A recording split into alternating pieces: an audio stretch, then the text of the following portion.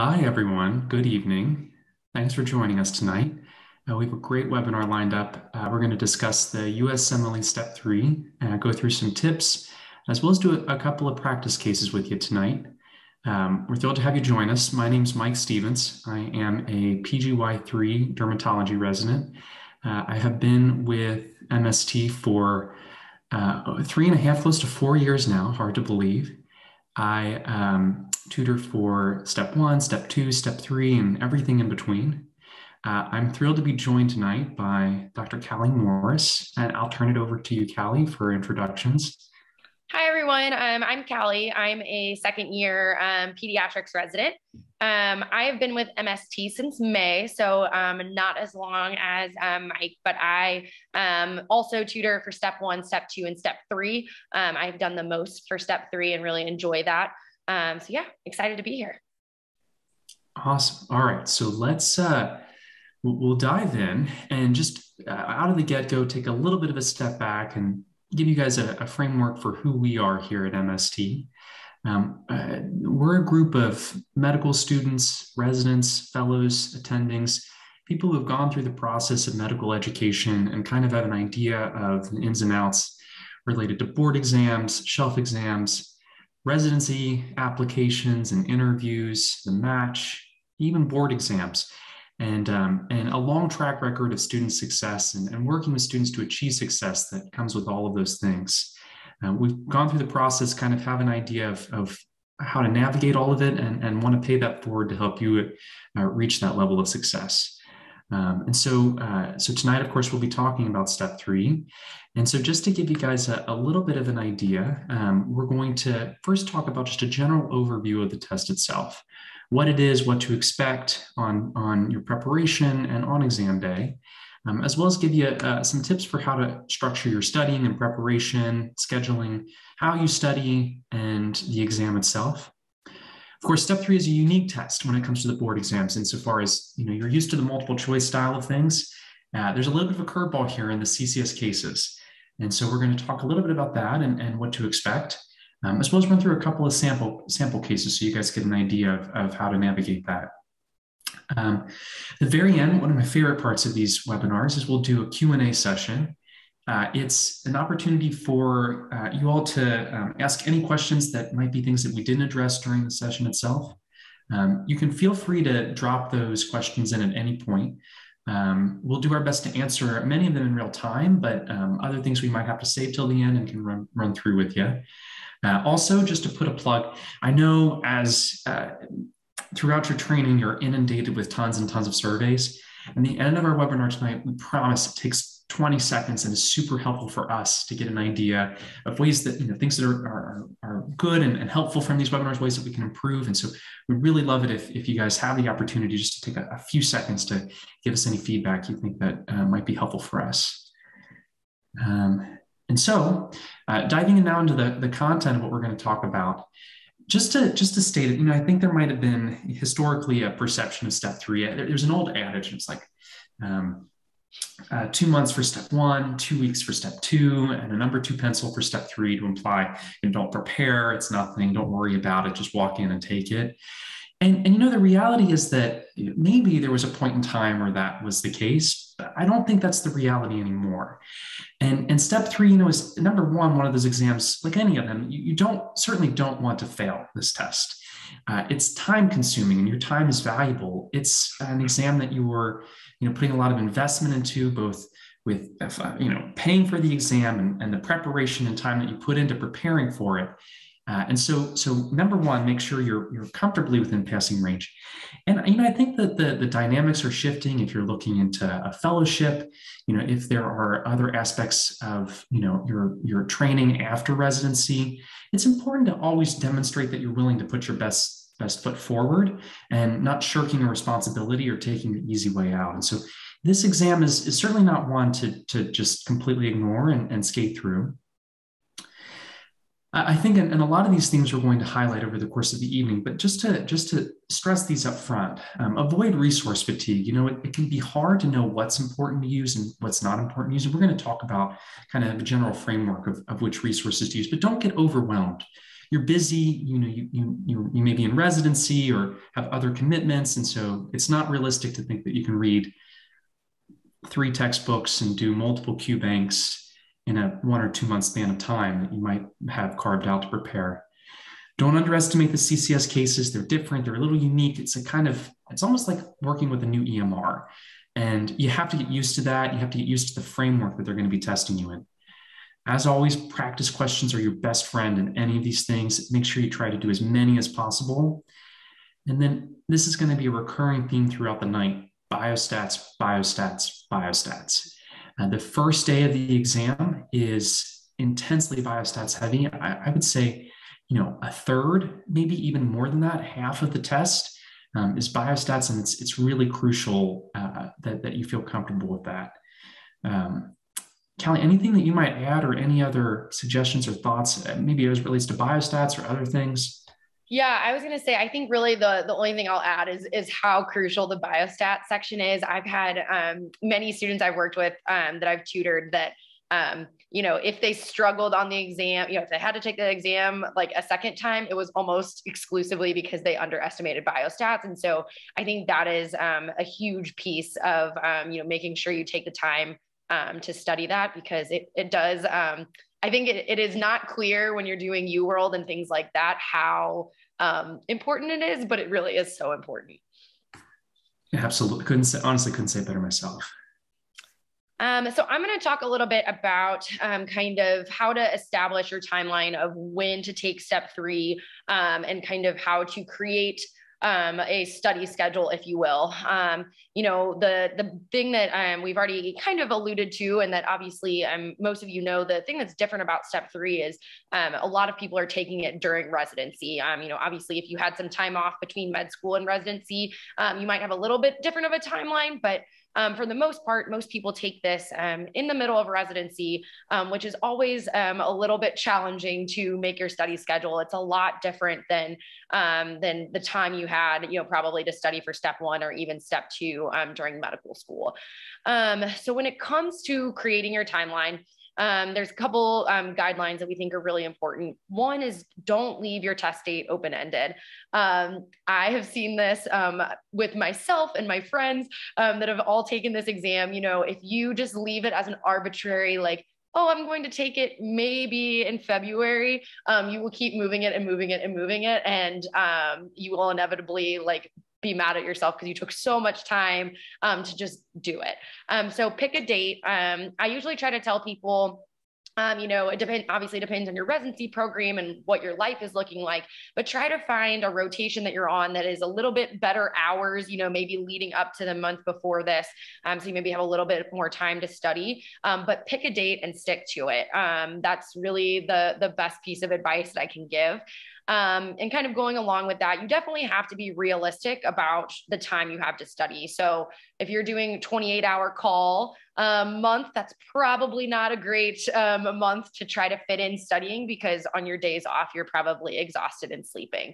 Um, so, you know, be realistic about it, but also um, try to utilize the time that you do have. You know, I really recommend people, you know, like you know, if you have some downtime at work, like that's a great time to do 10 questions, you know, and that adds up over time. And so you kind of have to sometimes build some time into your workday to get your studying done.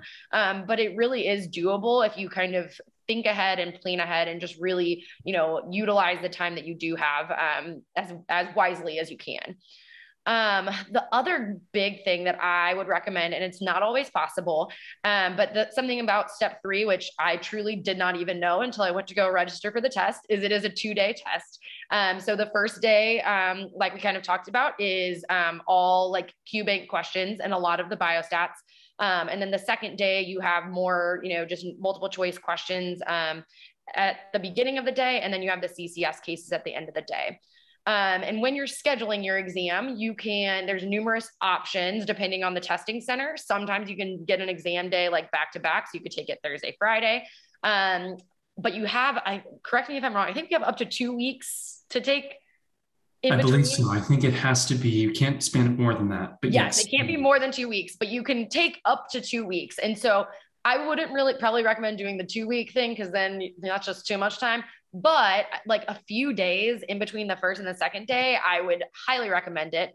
One, because then you're not burnt out after, um, you know, taking a nine hour exam, you know, um, nobody wants to wake up and go there the first thing the next day. I personally did it, but I it was not enjoyable. Um, and the other reason that um, if you can, if your schedule allows it, it would be great to kind of give you that space. Um, is that then you have a couple days to solely focus on the CCS cases in between um, both your first day and your second day, um, since you're not going to see any of those cases on the first day of your testing. Um, and so it gives you a couple extra days to, you know, kind of review some really important kind of um, topics or like commonly, you know, the commonly used orders that you type in, um, much like we said already, it's like using a new EMR. So just having a couple extra days to practice that um, with biostats, like out of your mind, you can push that out and only focus on the cases. Um, that's really helpful. Um, and then last but not least, um, making sure you have time to do practice tests, um, I think is really one of the most important things. Um, I think a lot of people, um, you know, it's hard to carve out, you know, like for example, like the UWorld practice tests are, you know, a solid four hours, and then you have to like review all of the questions as well after you get done. So it's it's a whole day, and so it's probably using possibly your only day off one week, you know, to to do it. But I um, strongly recommend it because a it just gives you um, a good idea of if you are far enough away from that passing mark to feel comfortable.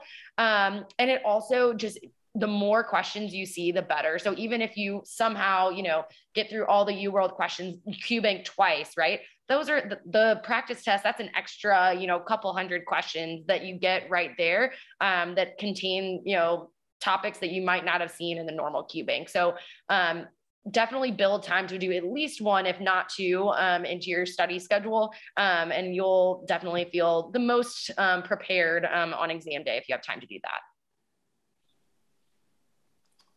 Awesome. And so dovetailing off of that then, uh, just to give you guys a, an idea of what a, a, sample study schedule might look like. And of course, just to state it and, and emphasize that this isn't one size fits all, of course, and you, you might have to carve out time depending on what your schedule is like. And if you are in residency and, and on a more difficult block, maybe, then you might have to be a little bit more flexible. But as mentioned before, questions are going to be crucial in this. And, uh, and so as it currently stands, the, the UWorld, the UWorld question bank is, is expanding. I think it's somewhere between 1,600 and 1,700 questions now. Um, and so what you'd be looking at is, is if you're, this is again, just a, a sample of a, of a five week study schedule. Uh, the um, general breakdown is maybe aiming to have most of the QBank done in the in the in the month, in the four weeks leading up to your exam, and then rounding it out in the final week. Um, and and you know you don't have to immediately dive into the CCS cases. Um, this is something that you can kind of slowly start to ramp up into as you get closer to your exam. It's best to try to get through all of the cases if you can. Um, but they go quickly, and, and, we'll talk a little bit more about that in a, in a second. But I often will have um, um, peers and students that I'm working with start the cases kind of into their study period, maybe halfway or so, and, and slowly escalate as their exam day approaches. Um, and then, of course, like any kind of board exam, in that final week, as you're getting really close to the test, you know, really go through the high yield content, especially biostats. Really can't. I mean, I know it might we might sound like a broken record by the end of the night, but especially the the week five, really really focus on trying to to um, blast through as much of the biostats as you can to make sure you you've got all of that solid. Um, all right, so we'll shift gears to CCS cases, and, and Callie, I'll let you take it away again. Yeah. So with um, CCS cases, um, there's it's it's truly just so much different than any other type of you know USMLE exam um, portion that you've ever done. Even those of us that did um, CS, which I know people no longer are doing. Um, so you know similar to that, but but still very different. And so I think um, kind of having a good just general approach um, to these cases is really helpful. So like we said, there's different ways that you can practice these um, cases. So UWorld has both what they call like practice cases and interactive cases. Um, and so, um, as we mentioned, like usually starting about halfway through your study period. Um, doing the interactive cases is great. I have some students that study kind of over a longer period, you know, more like a two month period where they'll do those UWorld practice cases, which you don't physically type in orders or anything you, like that. You just really read through the case. Um, and so sometimes people will start doing like one of those a day earlier on. Um, and that can be helpful just to kind of get a general feel for like what these cases are even about. Um, so I've had many students use either both UWorld and the CCS cases from ccscases.com just to kind of get familiar with how to type in the orders because that's truly like the most complicated part of this is knowing if you want to order X, Y, or Z, how to make that happen in the software. Um, the other kind of general approach type tip that um, we usually tell people is um, definitely, you know, a lot of times these cases are very clear cut. So they're going to give you, uh, you know, like a one liner about the patient right off the bat um, when the case starts. And most of the time, maybe I would say, I don't know, 75% of the time, you might know from that alone what the diagnosis is because they give you the classic symptoms, uh, you know, signs and symptoms of that. Um, but even when they do that, um, you know, in in real life, in theory, if you could just like do only the tests for that, that would be great. Um, but for the purpose of this test, they want to kind of see that you have thought about the big picture of the patient, you've thought about the other possibilities, and you've ordered kind of the pertinent testing and um, you know treatments for those things.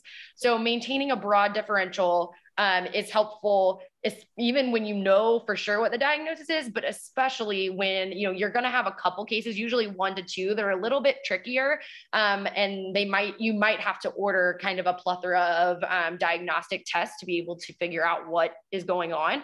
Um, so really just you know you have a moment on the exam to like take a step back and think like what's going on here? Like what are my big categories of you know like buckets of what these diagnoses can be? And that'll really help you decide what orders to put in um, the other big thing that i think is crucial to this exam um, that or this portion of the exam um, that i think um, is something that a lot of people don't talk about is really kind of being able to very quickly develop how like how sick like an idea of how sick the patient is and what you need to do right off the bat um, so in these cases, sometimes you'll have a patient that is presenting, you know, they'll present to the ER and they'll tell you, you know, that the patient's in the ER.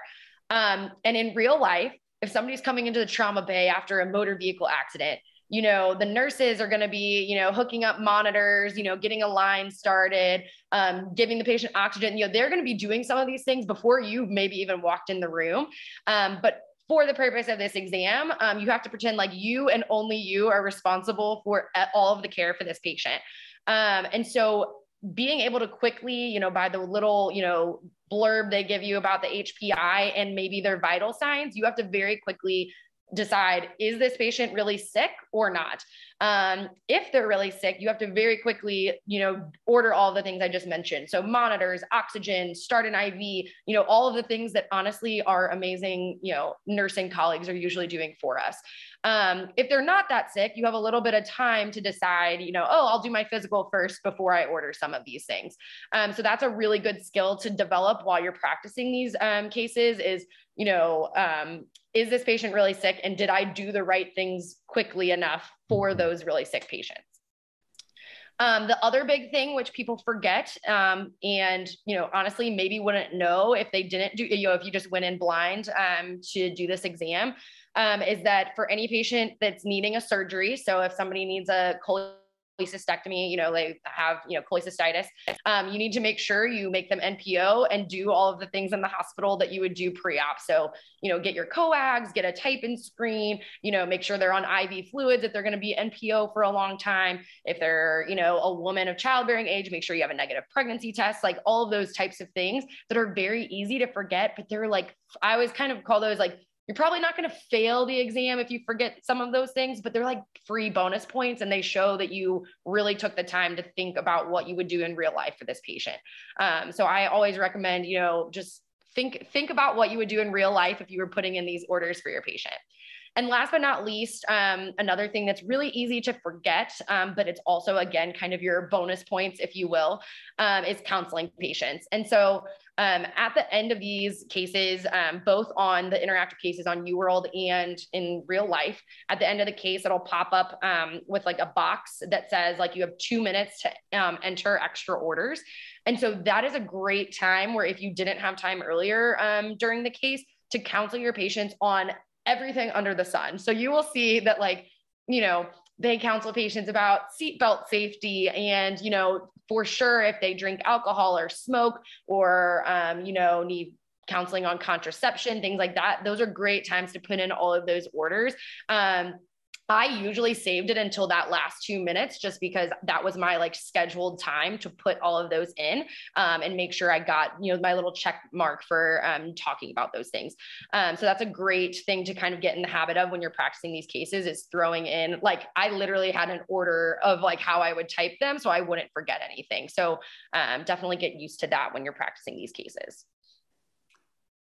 That's awesome. I honestly can't. Uh restated enough I, with that kind of framework to approaching it.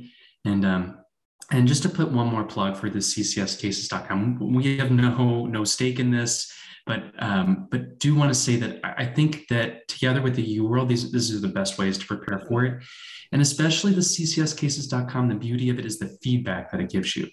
It tells you what you know what you did right and what you did wrong, and how to get better in the future on these things. Um, so, um, so that uh, a great resource to kind of put all of this into action. Oh, and so uh, dovetails right into the the next screen here that um, kind of goes into this a little bit more.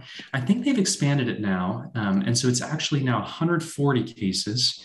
Um, you have the full interface at your disposal. So with the with the um, both the UWorld and the CCScases.com, it just gets you comfortable with frankly the emr that you're working in. And so in just like in any hospital you're putting in orders you're putting in um, uh, communications consult requests all of this kind of stuff same things happening in, in this kind of mock emr and, and you just need to get comfortable with being able to do that. Um, and again just to emphasize that that scoring and feedback that's given to you at the end of each case. Uh, you're able to try this out um, before you you dive into it. So you can do two free cases before you um, before you purchase. Uh, and it's it's a, just a monthly. They, they do have actually multiple packages now, but um, you can try it out for one month at a, at a, at a pretty reasonable expense and see how you like the um, the other cases that they also have. And so uh, and so with that, we'll, we'll kind of switch gears and, and um, I'll let Callie take it from here going through our first uh, sample case. So this is very um, reminiscent of what will be on your actual um, exam or any of the practice cases on ccscases.com or UWorld. Um, it usually starts with an HPI similar to this. So I'll kind of read this and we'll um, kind of work through this case and think about what types of things we would order. Um, so this is a 23 year old female who's presenting with right lower quadrant pain that started three hours ago. The pain initially began at her umbilicus, um, but later migrated to her right lower quadrant. It is also associated with nausea, vomiting, and chills. She has no significant um, past medical history aside from endorsing smoking a half pack per day. Um, so, kind of my approach to this is that, you know, you probably have read this, and like I alluded to earlier, um, a lot of the cases are this straightforward. So, um, I'm sure most of you in your head right now kind of already have an idea of what they're getting at and what this diagnosis probably is. Um, but like I said, the key is learning how to efficiently use the software to put in your orders and getting all of those little points along the way um, to show that you thought about every aspect of this patient's care. Um, so, kind of going forward um, with this knowledge, what kind of things would we think about ordering? What kind of you know interventions might might we do off the bat? And feel free everybody to, to chime yeah, in and jump in the uh, chat yeah.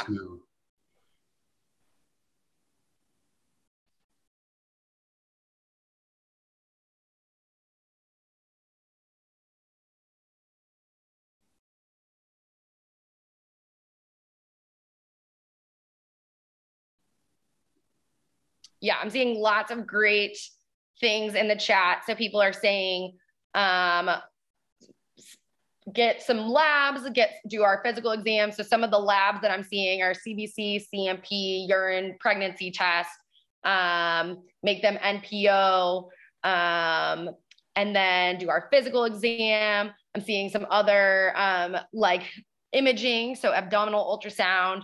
Perfect. Honestly, I'm like that nails it. So you guys got it. Like, and again, like this sounds so silly and like it's really easy when you're like in the moment you're like oh i have time to think about it um, a lot of people get anxiety around surrounding these cases but it really is this simple just take a moment to think like what's going on with this patient and what things do i need to do right away so i think um, there's there's numerous ways you could approach this. Um, and on the real exam, um, they would also probably give you her vitals. So assuming she is not hypotensive, not like super tachycardic and like, you know, not in an emergent state, you definitely could approach this one of two ways. You could do your physical exam first and then get labs, or you could order some basic labs and then do your physical because um, again, in real life, you're probably going to be doing a lot of these things simultaneously. Um, so in terms of the physical exam, um, something that um, again, I was not aware of until I started studying these CCS cases is you can't just say like, I want a physical exam. Um, you have to pick what um, physical exam items that you want. Um, and as we have listed here, the, the big four that like pretty much exclusively on every patient you should order these unless there's some weird um, extenuating circumstances would be general appearance which they sometimes will include very important like pieces of information in that general appearance. Um, so um, i think that's an important one to like make sure you click even if you don't think it's that important. Um, and then obviously heart lungs abdomen um, in any patient particularly in this patient like abdomen is going to be very important um, and then some of your other options of things that you can order. So you can do um, genital exam, you can do HENT, you can do skin. Your other options are like um, lymph nodes, um, MSK, neuro. But in this case, um, you definitely probably you definitely want the big four. And then I usually say, you know, um, if they're not critically ill, you should get these other things in general. You know, it's really easy, like quick to do a skin exam, to do HENT. The one that I, I get a lot of questions about is um, like genital and rectal exams. Um, my general approach is what I say is if, um, you know, if it seems like it could be potentially be a GU related issue, like you're never going to get points off for doing it. So in this case, in a woman that's having like abdominal pain that could be like pelvic in nature, I think it's totally fair to get it. Um, and then, of course, you guys said a lot of the things that we talked about already. Um, uh, or the labs that we are going to get. So CBC, CMP. Um, some people already were kind of alluding to the fact that this patient should probably be NPO, probably because you're thinking this might be a surgical issue. Um, and so anytime you're thinking it could be a surgical issue, just go ahead and get your coags as well. It's really quick and easy. I, I would probably add like type and screen on here as well. Um, and then in this patient, you know, they didn't tell us um, the, the vitals for this case, but um, assuming that she probably was febrile and, you know, you can get really sick with what we think this diagnosis is. Um, grabbing a blood culture is not a bad idea, but again, that's probably not something that you're going to fail if you don't do. Um, and then um, a lot of people were talking about getting a pregnancy test, which is perfect, um, both for the fact that, you know, she might be going to surgery and also for the fact that if you're having any sort of like pelvic, you know, right lower quadrant pain could be um, ectopic pregnancy. So you definitely want to get that. And then getting a UA is always like a reasonable thing too with any sort of kind of, um, you know, pelvic or abdominal pain um, in a woman. And then we, like everyone said, getting an abdominal um, and pelvic ultrasound would be great. Again, you could um, on the exam, um, if I remember correctly, abdominal and pelvic ultrasounds are separate. You would have to order them separately. So you could approach this one of two ways. You could order them both at the same time. Or if you are very suspicious that it's probably not pelvic and it's more abdominal, you could get the abdominal ultrasound first um, and then order the pelvic ultrasound after that. So um, as long as the patient is stable, if they're not stable, you should just get them both right away. Awesome, and I, I think um, I think one point you brought up that's great is the the more of these cases you do, the more you just kind of develop a knee jerk reaction for certain scenarios, and so like getting a pregnancy test is hugely important. It may not get you points in every single scenario, but there are going to be situations that uh, knowing whether a patient is pregnant or not pregnant will be very crucial to the overall trajectory of the case. And uh, and just having that as like a knee-jerk reaction. Like if, if a patient could potentially get pregnant being able to figure out if they are in fact pregnant is going to be very important. Other things like um, you know if they have any kind of chest pain or something that might be an atypical version of chest pain thinking immediately about an ekg uh, if they have um, if they're smoking, then you want to make sure you counsel on smoking. We'll, we'll talk more about these kinds of things, but just the more you do these, the more you kind of have these reflex reactions um, to, to kind of this initial order panel.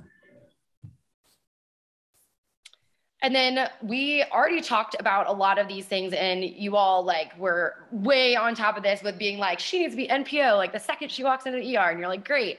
Um, but the other things that are very easily like forgotten, um, but are again like easy points to get um, is making sure you consult the appropriate specialists in whatever the case is. So in this case, um, I'm sure you all are feeling fairly confident at this point that this was likely appendicitis, which it probably was. Um, and so um, making sure you consult surgery. Um, and so you have the option of consulting any service that you want, um, very, you know, very specialized things. I will say a lot of the times they will say, thank you for this consult like consider or continue medical management. Um, and so it doesn't always they're not always going to like immediately give you an answer or like take over the care of the patient um, but it still is important to consult them. So consulting surgery and then in this case, um, you know, we did a great job thinking about like, okay, she needs to be NPO, um, but we probably should start doing a lot of the other things that she's going to need. So anyone that's coming in with like extreme right lower quadrant pain is probably going to need IV pain medications and probably going to need fluids and or antibiotics so um, making sure you get an iv ordered right away and you literally order like place iv um, so getting that right off the bat um, giving pain medications for patients that are in pain. I know that sounds so silly, but it's really easy to forget. I mean, even just like giving or giving somebody with a fever Tylenol, like it sounds so silly, but it those are good points to get that are um, commonly missed. So pain medication, antibiotics, and then um, a lot of people already said in the chat like ordering those um, standard kind of perioperative labs right away. So that was great. Um, and then the big thing that you'll have to decide, you know, sometimes, you know, depending on um, the length of the case and really what the um, USMLE wants you to prove that you know how to do from the case, you know, it might stop as soon as you, um, you know, order the abdominal ultrasound and it shows appendicitis, or it might make you um, transfer the patient from the emergency department to the inpatient unit. Or if it was a patient that's severely ill, you might have to transfer them to the ICU. Um, so making sure you put in, you know, the orders or, you know, click the buttons to say like this patient needs to be admitted um, is important to do. Um, and then, you know, at the end of the case, or, you know, whenever you have, you know, some free time in the case, making sure you talk to the patient about anything that is pertinent to their health um, that you can counsel them on. So, um, smoking cessation would be a, a, great thing to counsel them on. And you could, like I said, throw that in in your last little two minute box, or if you have time during the case, um, counsel them on that earlier. Awesome. Great job, guys, on that last case. I, I think that was, um, you guys did a phenomenal job kind of running through it. And, and Callie, thanks so much for um, a really streamlined and an excellent approach to it.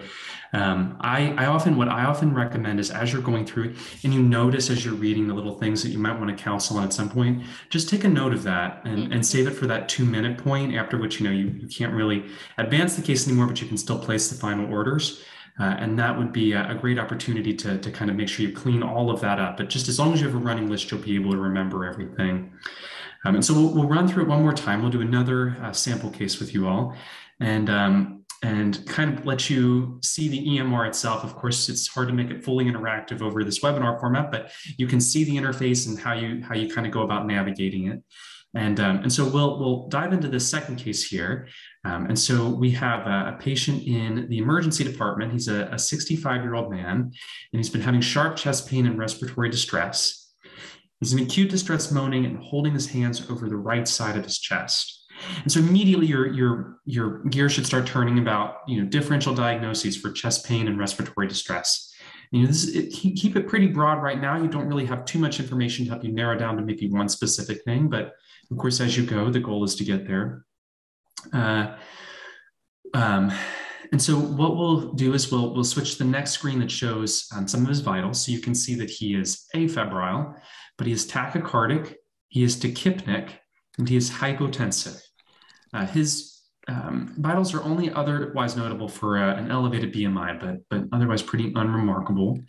Um, and so I, I, think we can take a second here. If anyone wants to throw out any diagnoses that they're thinking about or, or things that they're concerned about here right up off the bat. And, and remember with these questions, um, the, the, diagnosis is often, I don't mean to say it like it's always readily apparent. You, will have questions that are a little bit of a diagnostic mystery, and you have to kind of figure it out from the orders that you place and the workup that you do.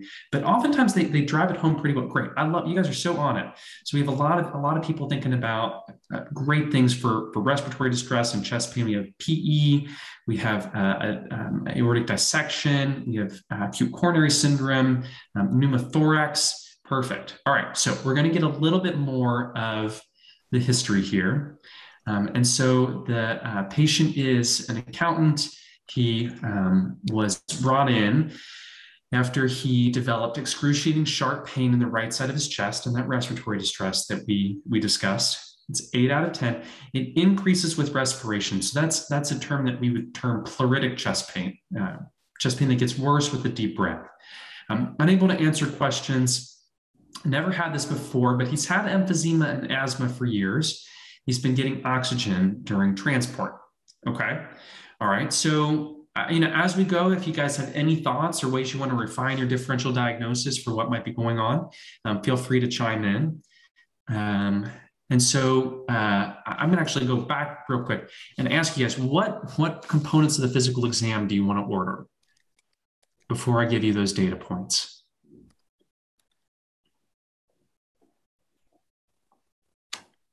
Great. Yeah, perfect. Chest, pulmonary, lung, heart. Exactly. So remember the big four. You know, you're always going to want to do um, a cardiovascular exam. Um, you're always going to want to do. Uh, you're always going to want to have a, a, general idea of the general appearance of the patient. You're always going to want to do a lung exam, um, an abdominal exam. Like these are pretty bread and butter routine kind of things that, that you're always going to do. A, generally, a head and neck exam is always warranted. In other scenarios where it might be less helpful or, or maybe hold you back a little bit in terms of time, they're probably not going to penalize you in terms of points or some of the other components of the exam. But you know, you can if you're ever unsure and you think there might be helpful data points, it's, it's better to be broad than to, to miss something, both because they want you to do a thorough physical exam, and number two, because it may help you figure out what the diagnosis is if you're not sure. And so I'm going to, there's a lot of um, text here, and it can be hard to navigate this, especially when you're under the pressure of the timing on the exam. Um, and, and, just to state, when, whenever you're confronted with this kind of thing, I think it's best just to take a deep breath, kind of get your bearings a little bit. I, I am of the tendency, if I see all of this, I'm going to try to blast through it. And I often find that that holds me back more than anything because the time I'm spending rapidly trying to incorporate all this information into my brain is not working and it's not you know it's it's time ends up being time wasted instead of time saved. Um, so he is is overweight as we already know from his um, vitals. He's moaning and holding hands over the right side of his chest. Okay so that all kind of fits with the, the history that we received so far. He's pale and cool.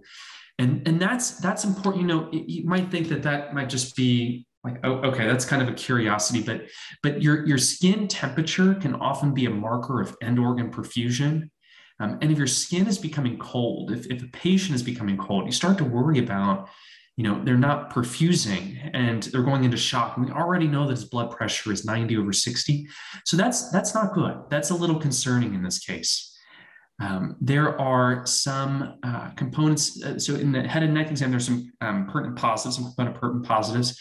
So I'll just read those out for the sake of time that he has slight tracheal deviation to the left, his jugular venous distension. Uh, he has hyper, so in the chest exam, he has hyperresonance to percussion on the right. He has no breath sounds on the, presumably on the right then, um, but he has breath sounds present on the left. And then uh, we already know that he has the jugular venous distension from before. And looking through the rest of it, there's not a whole lot that stands out to me, other than he's still unable to answer questions due to respiratory distress. So, so what do you guys think? Is there a diagnosis that's standing out to you? Anything from the data that we now have to help you refine your differential diagnosis even further? I think some people were chiming in before with what they thought. Yeah, perfect. Great. I love it. You guys are so on it. So this is a pneumothorax. And, and when you see that kind of shock-like picture, especially think about a tension pneumothorax, which is what everyone, that is phenomenal job, guys. A tension pneumothorax. And so when you see that jugular venous distension, when you see that hypotension, when you see the cool extremities, it's it's pretty concerning in this case. Um, and so uh, and so we'll keep plugging along. Um, this is kind of the order panel that that I would I would dive into up front. Uh, he's already got oxygen, and, and oftentimes this will uh, already be pre-populated because they already started. That. As mentioned, as Callie mentioned before, you know, oftentimes, you know, in, in real life, you don't necessarily need to order placing a peripheral IV or all of these um, kind of uh, more specific kind of things because it's already kind of been done in real time. Um, but but on this exam, you, you kind of do. Uh, in this case, we have um, uh, in this case, we have to put all of that kind of thing in. So the oxygen's already here. And this is one case where they, they're actually already giving that to us. But some other things that I also think about. So he's having chest pain. And so you want to th- you want to still keep a broad differential diagnosis, as, as Callie mentioned before. You want to make sure that you're considering, you're not anchoring just on pneumothorax and, and forgetting about other important diagnoses. So getting an EKG as listed down here, um, a troponin, um, you know, there might be the, the JVD might be related to some heart failure. So maybe getting a BNP your routine labs are almost always going to be correct to obtain. So at least a CMP, you know, get your LFTs and your basic metabolic panel and a CBC so that you kind of know what's going on in their blood. And, you know, when I was going through this, I felt pretty confident in the diagnosis of uh, a tension pneumothorax. And so I don't know if you guys remember the adage, I felt like it was drilled into my brain when I was on surgery as a, as a medical student. But I mean, do a, a, a, needle thoracostomy in the second intercostal space in the midclavicular line. And, and, does anyone know why we do that or what you would expect afterwards? Um, I'll give you guys a, a second to chime in. I'm also going to be consulting people that are going to be better at this kind of thing and managing this kind of thing than I am. So, you know, this is a, a pulmonary problem, it's a, a, a, thoracic problem. So, I want thoracic surgery here um, pulmonary medicine to figure out why they're having this pneumothorax. You know, he has um, he has emphysema and he has asthma, which are risk factors for developing one. Um, great. So, so some thoughts uh, chiming in in the chat. So, really, the, the, the, needle thoracostomy is just to offload that pressure. Remember that a tension pneumothorax is like a one way valve. So, you're filling up that pleural space with tons and tons and tons of air that every time you breathe in pushes more into the pleural space, but then you can't get it back out. And so this kind of gives an offshoot for all of that air to get out of the pleural space and to help relieve that pressure. And then um, it buys you time for the definitive treatment, which is going to ultimately be this tube thoracostomy or, or a chest tube. Um, and so, um, so to move on from this, um, it, it, at the end, so we we kind of executed really the entire plan at this point. Uh, we have by ordering that by ordering the needle thoracostomy. I think I, they'll give you a little blurb in the in the subsequent screens that there's a whoosh of air that comes out, which is exactly what we're looking for. Um, and then after you place the chest tube, you want to make sure you get a chest X-ray to make sure it's positioned correctly, and that closes out the case. Um, and so this is a, an example. You know, we, um, we a question that I often get with students is what, what does it mean that the case ended? Is that a good thing? Is that a bad thing? And generally, it, it means that you've seen this through to completion. So your treatment, your, your plan for the patient is, is done. You've kind of done everything that you need to do and, um, and, and it's finished. And you may not, it doesn't necessarily mean that you got every single possible point that you could. It, it, it, I don't, I might be a little bit of bad news to say that it doesn't mean that everything was done perfectly, but it does mean that you you treated the patient and you took care of them. And, um, and so it shouldn't be something that causes any consternation. And if anything, you should you should feel good that you you got to the end. Um, the converse, where the case is still going and the patient is still uncomfortable or in pain, or you're still not sure what they have, obviously that would be less ideal than than having it end. Um, Again, just to reemphasize, don't forget that counseling at the end. So, uh, you know, the patient was a smoker, then make sure you're taking note of that and then counseling on smoking at the end. And then they do ask you for what you think the diagnosis is. And so you can punch into a, a text box the, the diagnosis that you think the patient ultimately had. Um, and so just to highlight a couple more key points from this case, read the history and physical exam carefully this patient, you know, you might think about getting a chest x-ray up front, or you might think about getting a CT scan, or, you know, are there other things that you want to, are you still thinking about a PE? Are you still thinking about, and, uh, and the, the point is this patient is unstable. You know, they're, they're hypotensive, they're going into shock. They need treatment now, and they need treatment quickly. And because of that, you know, if you delay that treatment, number one, the, the interface is going to start putting pressure on you, like the patient is still obtunded, you know, the, the patient is still uncomfortable or in pain. And, uh, and number two, it's going to it's going to adversely affect your score. You know, you you have to be able to um, a, a part of the scoring is making sure that you're doing things in a timely manner. And if you're not doing that, if you're not, you know, it, moving forward placement of a chest tube on the right time scale that'll also come come through in how uh, how it's evaluated. Um, so so all of that's to say uh, just keep an idea back to the point about sick or not sick. And of course this is a perfect example of a patient who's pretty sick. Um, all right. So kelly anything else you would add or any other um, tips or tricks you'd use for a case like this or or any other cases no, I think that um, yeah, you covered that really well. The only other thing that I'll um, add here, just because I thought um, the the orders um, was a great example of this. I've had numerous people ask me, um, you know, like in a moment of panic, right? Like you might forget the name of like a procedure or a um, you know like test you need to order or something like that. So just for like reference, when you type in like for for example, like say you like didn't know that it was called like you know, like some people will say like needle decompression, right? If you type in needle like on um, the interface, it'll give you like all of the orders that contain the word needle. Um, and same thing with like if you put in like thoracotomy, it would like, you know, like it would give you everything. So um, if you like are in a moment of panic and can't remember the name of, I don't know, like, like cholecystectomy. I know that's an easy one, but like if you're like, oh, the patient has cholecystitis, what's the name of the surgery? You could start typing cholecystitis um, and it'll come up. So I think that's helpful because a lot of people just like in under pressure, you like forget the names of things. That is so true. Yeah, definitely leverage that search engine to your advantage. Yes. I remember like typing in random things and like hoping to find what I wanted. So perfect. Um, we'll go into a couple more um, kind of pointers for the CCS cases.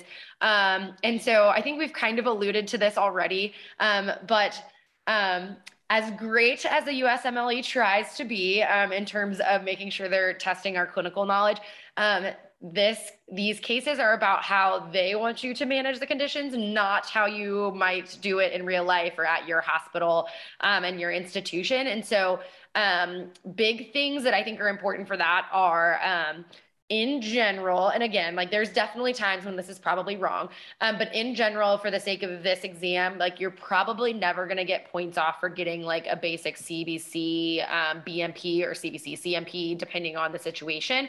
Um, whereas, like in real life, like you might not always need that.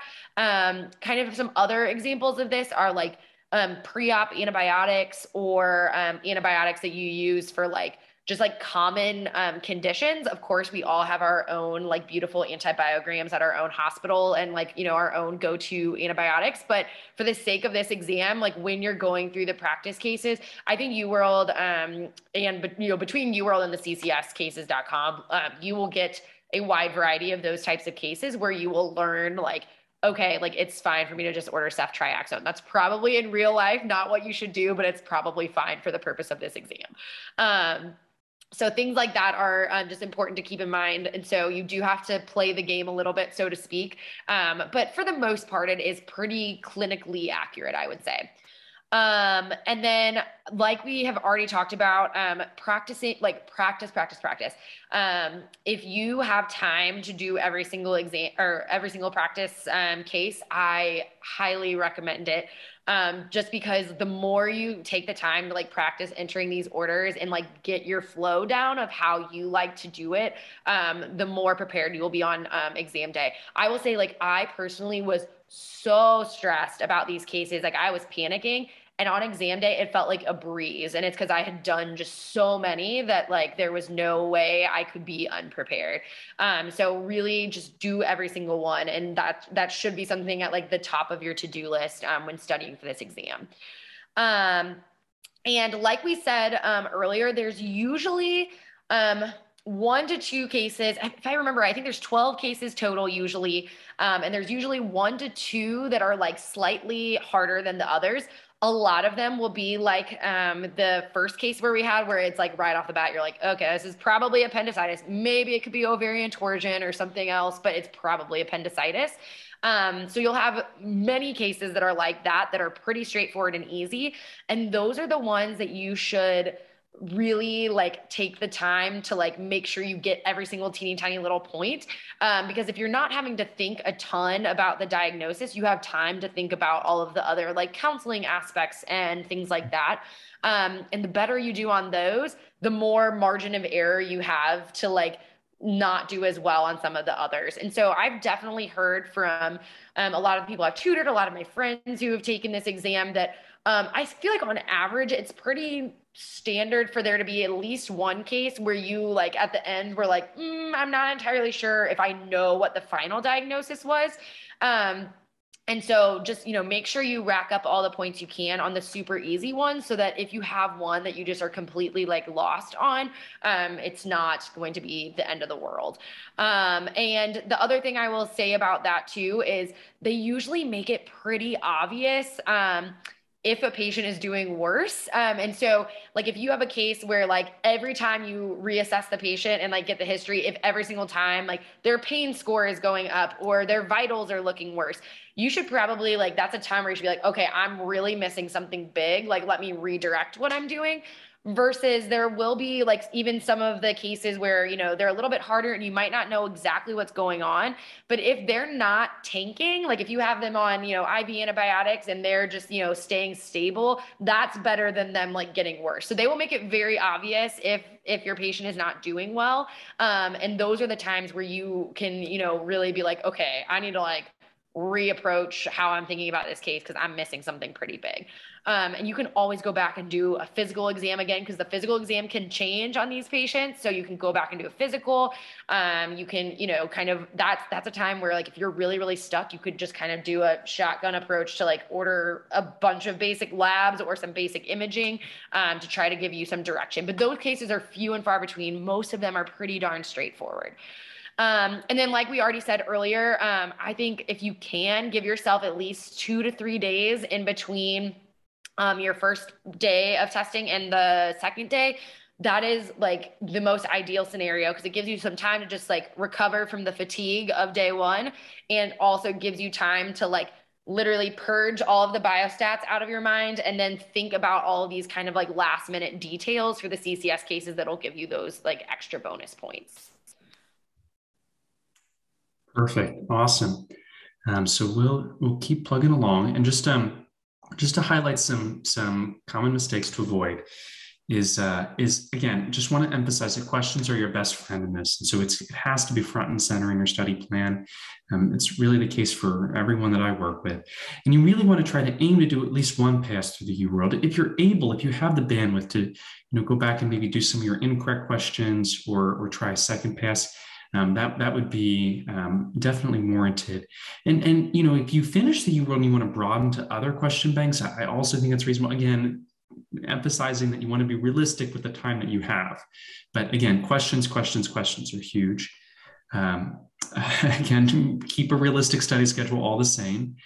Um, with the cases, uh, you know, you you it is unique. It is something that is different about step three compared to the other exams. But I also just want to emphasize the case is really, you know, it's there's no, they don't, the NBME and the USMLE don't really publish how all of this gets graded, what their what their algorithm is. But the and so it, it's not perfectly clear, but what I can tell you is actual test time, time that you're spending in the testing center, the CCS cases really only amount to about 25% of that total time. The majority of this test is still questions. And so you don't want to feel like you need to put all of your attention towards the cases and let that come at the expense of making sure that you're studying everything that this, that this test could uh, possibly be testing you on again, I, think it's it's many people may understandably really want to shirk away from the biostats, don't like the biostats, and and and you know I get it. Like it's it's uh, it can be a, unwieldy. It can be a lot to have to to try to remember and think through, and and you might be removed from some of the mathematics that goes into it.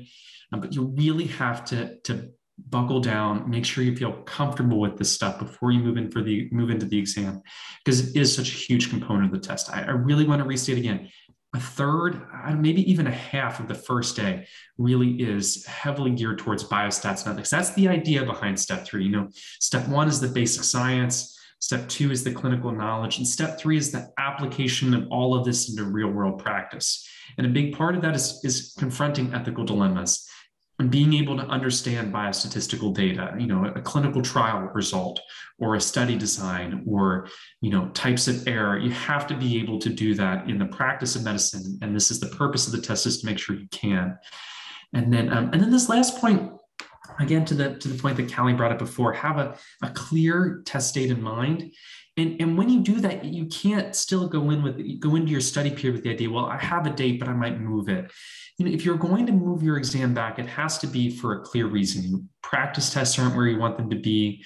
Uh, you feel like you're not through enough of the material that you want to be. But and, and to that second point, you have to have a plan of like, well, this is what I still want to be able to accomplish.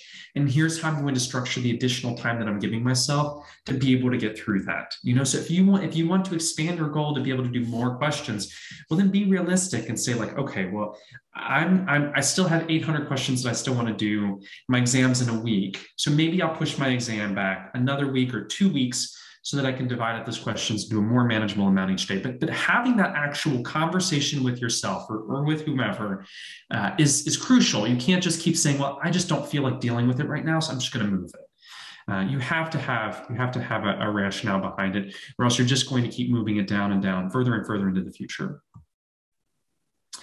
And so, um, and so, just to give you guys a, again to circle back to our, our, point at the beginning about MST and who we are, um, you know, again, it's it, what we focus on is really the one-to-one tutoring, and um, and what that looks like is is you work with with someone like like Callie or me, and um, we develop a, a, custom study schedule. And I think that this is really where the the majority of the benefit comes from is just having someone who kind of tells you which resources to use, how to navigate doing that, and then holds you accountable to make sure you're keeping up with that. Um, the tutoring sessions are adaptive, and so I, I, always, you know, kind of leave flexibility with my students that I'm working with about what they want to review and how they want to go about reviewing it. Some people like to do questions, some people like to do content, and, and oftentimes we end up doing a little bit of a mix of both. Um, having someone who you can communicate with in between sessions, um, and so you know, if you ever have a question or something comes up, um, and, and, then again, just someone who can support you through the process and help you navigate all of this. Um, beyond that, we um, we also do uh, planning sessions that kind of just give you like a, a, quick kind of general overview of, of an entire study plan and how to approach all of these things, and go into a little bit more about what resource preparation, resource selection looks like, and preparation for these exams. Um, and then, um, and then, as I mentioned up front, you know, we we've also, especially uh, those on the step three side, have gone through the residency application process and have an idea of how to navigate ERAS, residency interviews, generating your rank list, um, and are also happy to help with that. And so with that, we'll move into the last phase of our talk tonight and, and my personal favorite, the, the Q&A. And so if you guys have any, you guys have asked great questions over the course of the evening. Um, and I, I think um, I think we've tried to do a pretty good job of answering those in real time as best we're able to. But if there's anything we missed uh, or that people have um, further questions about or, or, things that we didn't address, um, feel free to chime in at any point. And I'll just go back through. I think there was one question on here about the practice test. If I can just broadcast that out to everyone, because I think that's a good one. Um, what are the practice tests? How do you go about using them? There aren't a ton of them, unfortunately, for step three. Uh, you know, I think uh, in a perfect world, we'd have more metrics for evaluating where people are. Um, the, the, main ones that I recommend, and really the main ones out there, are the two UWorld self assessments um, and then there's an NBME that you can also use. The NBME is a little frustrating because it doesn't perfectly convert your score, uh, but um, but you can. There are a lot of calculators online that can give you an idea. They give you a, a general percentage of how you compare to a median, and um, and and then you can extrapolate from there. Uh, it may sound like I'm speaking gibberish right now, but but basically you can you can use you can convert the NBME into a three-digit score as well.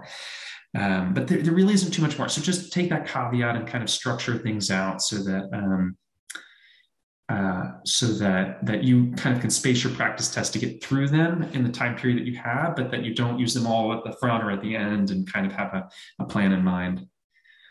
Um, I'll also throw in the the plug for the free like USMLE. I think it's like 120 or 170 questions. I can't remember how many it is, um, but it's on USMLE's website. They have one for step one, two, and three. Um, so that's another. Again, it doesn't give you like a score at the end, but again, if you can like roughly say, oh, I got 60% of the questions right, and kind of compare that to what a score of 60% would be on a UWorld or an NBME practice exam. Um, that's just, and it's another set of questions to lay eyes on that's um, completely free. So that's a great one.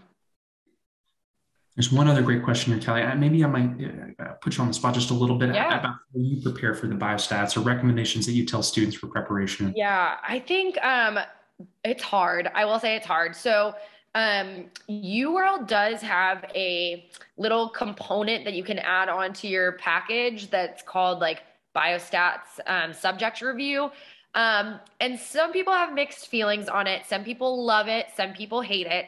Um, I personally recommend it. It's like it's not that much more. You know, if you're already like paying for UWorld, it's only a little bit extra to add on, um, and it does give you like a nice framework of how to approach biostats and kind of break it down into subjects. So, um, of course, you know, doing all of the practice questions that they have just on the normal UWorld Q Bank for biostats is crucial. Um, but if you if you're somebody who struggles with biostats or like really doesn't remember it, like when you're dusting off the cobwebs from um, step one, um, I think it's really helpful to add that. So what it is, just so that you know, if you if you want to purchase it, is it contains um, it's like listed by subject. So it'll be like confidence intervals, um, you know, p values. Like it literally has it broken down into topics.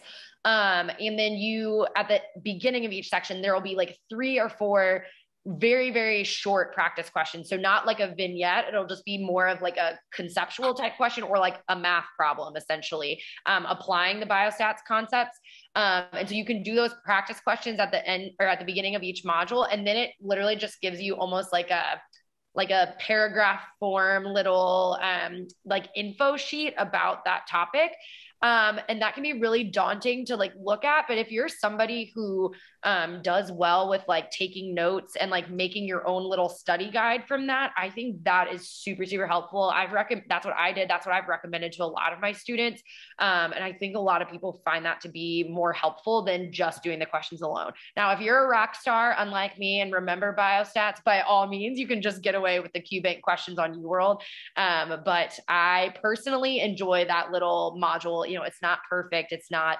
um, it's not comprehensive by any means. You still need to do the QBank questions but it's definitely supplementary and gives you at least a framework of how to start studying. Awesome. All right.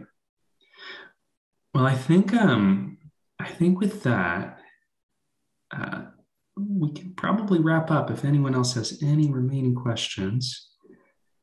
Um, and so, um, and so, if uh, with without it, thanks so much everyone for joining us tonight. It was wonderful to to spend the, the evening with y'all. And then, um, what will if you have any further questions or anything else, feel free to to reach out to us. Uh, the email address is below. Um, hq at medschooltutors.com, a phone number here, and, and our, our website. Um, friendly reminder that if you guys have the 20 seconds to do the quick survey at the end, that would be amazing. I, I think the link is is in the chat if you're able to. Um, but, uh, but otherwise, I hope you all have a great evening. Um, and thanks again for joining us.